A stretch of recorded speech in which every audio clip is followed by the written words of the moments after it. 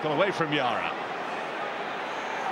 He takes it on to Rapt. And Dean Kiely in his first real league start of the season has to get it well away.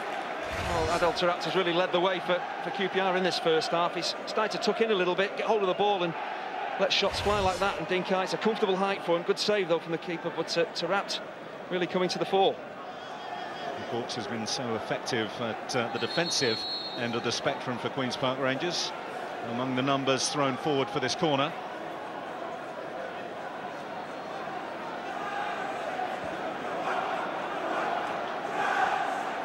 You can see what Abdel Taarabt is alleging. I presume he's saying that when he took the shot on that the defender just left his foot in a little bit, but disagreement there in the penalty area.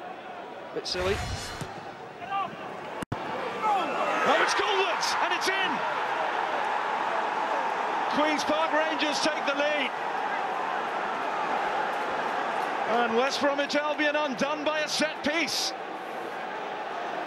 Wasn't it always the way? West Brom have really dominated the uh, opening stage of the second half, yet it's QPR that uh, opened the scoring and you wouldn't probably have expected it from a set piece. It's a cracking ball in. We talked about uh, it an own goal possibly.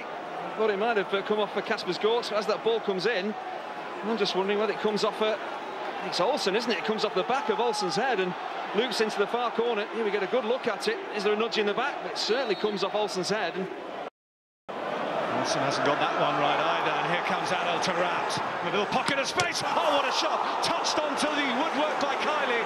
Fine save. And so close to being two up, they may yet be. Away by Meite. Here's Yara. West Bromwich Albion creaking at the back. Rangers absolutely flying. What a wonderful save from Dean Kiely. He's kept his side in the game.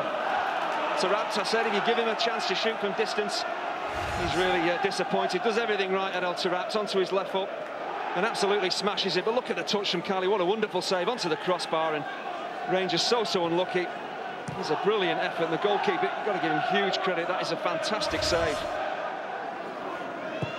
Watson for QPR. Really good effort. Kiely did supremely well. Gorkss! It's 2-0 now for Queen's Park Rangers.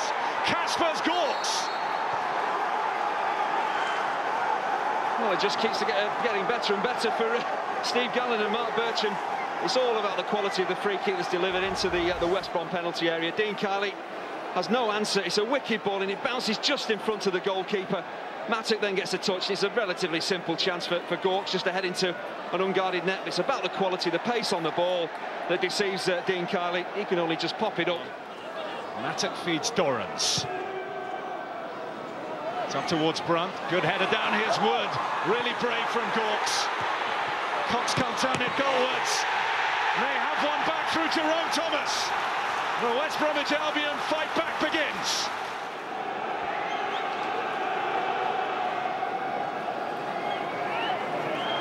Level with Blackpool and Sheffield United they will go.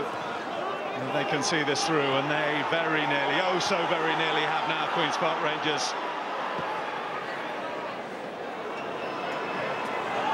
Wood. Oh, is it going to fall for Chris Wood? Fine save by Journey.